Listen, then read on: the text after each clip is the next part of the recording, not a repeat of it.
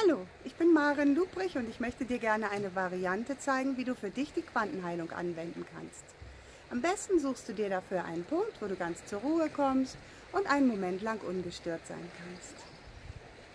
Um die Quantenheilung zu machen, denke jetzt an ein Thema, was dich gerade belastet.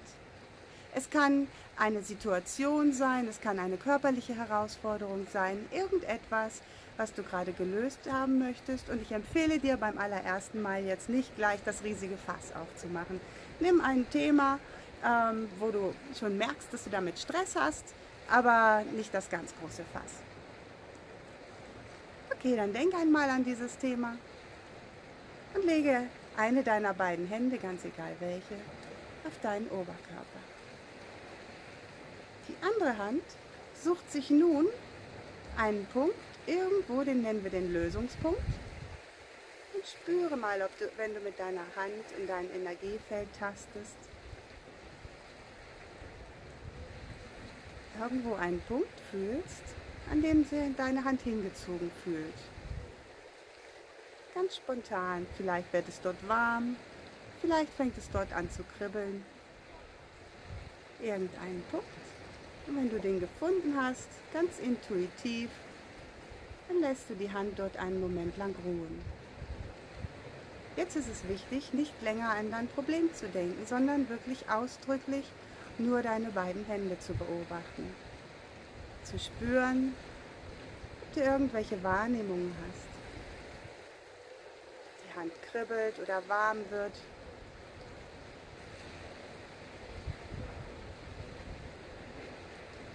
Stelle dir vor, dass dieser Lösungspunkt den Zustand von dir enthält, den du, der du wärst ohne dein Problem. Also sozusagen der Urzustand. Verbindest dich über diesen Punkt mit der Urmatrix.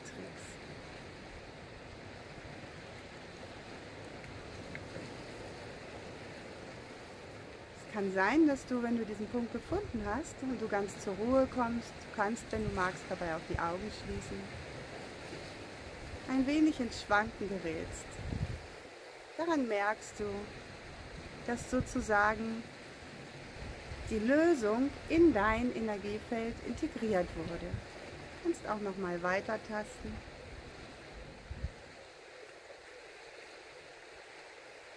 Du noch einen weiteren Punkt spürst und denkst am besten in Dankbarkeit daran, wie es wäre, wenn dieses Thema sich jetzt aufgelöst hätte und nun nicht länger eine Rolle in deinem Leben spielen würde.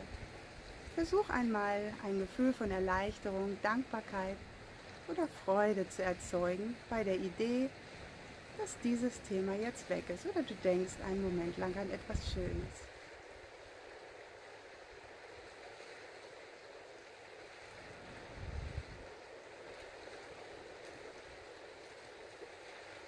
wenn du diese Welle spürst, dass du so ein bisschen ins Schwanken gerätst, dann weißt du, dass die Welle von Energie, also die Welle der Lösung, in dein Energiesystem integriert ist. Und das ist im Grunde schon alles.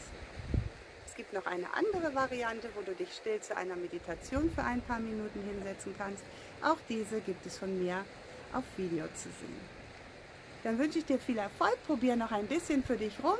Wie gesagt, du suchst dir den Punkt, während du an das Thema denkst. Diese Hand speichert einfach das Problem. Du suchst irgendwo in deinem Energiefeld spontan einen Punkt, an dem sich deine Hand hingezogen fühlt.